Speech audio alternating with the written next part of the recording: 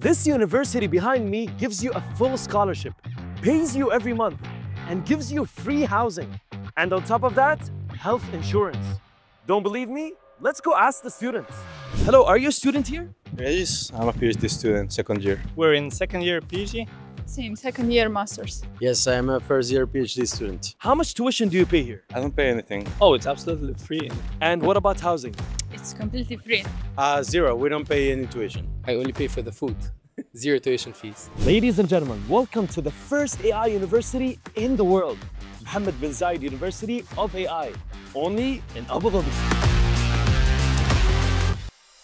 Hundreds of students from more than 45 countries, including the UAE itself, come here to study computer vision, machine learning, and even robotics. And in just five years since it opened in 2019, the school is already ranked among the world's top 10 institutions for all things AI.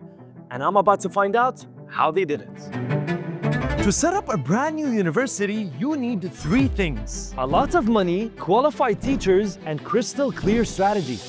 MBZUAI took this formula and ran with it. They have $20 million in external funding, faculty staff from legacy universities like MIT and Carnegie Mellon, and alignment with the UAE government's AI strategy. Well, let's get into the fun stuff first. What are they working on that could change the world? Why did you guys pick AI? If you are developing or upskilling yourself in AI, I think your skills can translate into any domain. You don't pay tuition as well? Is that a great reason for any student to apply? Definitely. The university is doing their best in supporting not just the tuition, the facilities, the research opportunities, and the faculty expertise that you get. So it's really like a very good option for anyone out there who want to pursue AI at this moment. Can we get him to do one last trick and ask him to describe Yeah, me? yeah. A man in a dark brown suit crouches down, holding a smartphone in his right hand, and appears to be taking a selfie or recording a video. What? How does it know? You're in the PhD program right now. Exactly. So I want to ask you about the project you're working on. So what can you explain to us? Here, what I'm showing is Voodoo XP. We called it Voodoo because we are controlling faces, like the voodoo doll. right? Where do you see this going? You can use it for organizations like Zoom, WebEx, um, any other uh, company that Mm. does meetings. And also for video games, you Oh, can wow. create customized avatars. Uh, you can change certain attributes also using AI. Is it competitive to be a part of a student here? What's the environment like? I think like every year is getting more competitive. It's attracting a lot of uh, attention because also good stuff is coming out of the university. We have great professors, great ratio, so it's not a lot of students per professor. Since you don't have to pay tuition, you have a scholarship. There's so much uh, applications every year. Like it's increasing, I think, exponentially. These are the people who are winning the biggest innovation competitions organized by Google and Meta.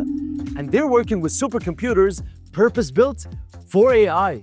AI could contribute $320 billion to the Middle East economy by 2030. And the UAE is well positioned to make the most gains. In 2017, the country implemented the UAE strategy for artificial intelligence, basically bookmarking the role of AI in its growth. By 2031, the UAE aims to be one of the world leaders in AI. It's even appointed the world's first AI minister in history. No big deal, except that Omar Al Olama was only 30 years old when he got that job, and now he's one of the biggest AI voices. And because of the lightning speed pace that AI is developing at, education is a huge part of this. Students and experts need to be churned out fast to keep up, not just in the UAE, but globally. A couple of the university's projects have already made their mark in defining AI. Meet Nanda and Jais, two large language models trained in Hindi and Arabic, respectively. They were developed by AI company G42 in collaboration with Cerebras and MBZ UAI. Pretty convenient for a collab, seeing that G42's office is located inside the university itself.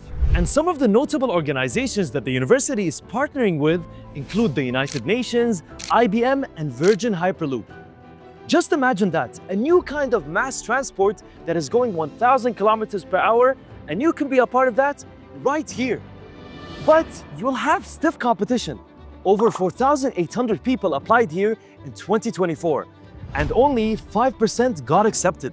Whether your interest lies in education, cybersecurity, or cancer research, The AI ecosystem developed here could be your link to the countless entrepreneurship opportunities available. So, would you go here? Let us know in the comments.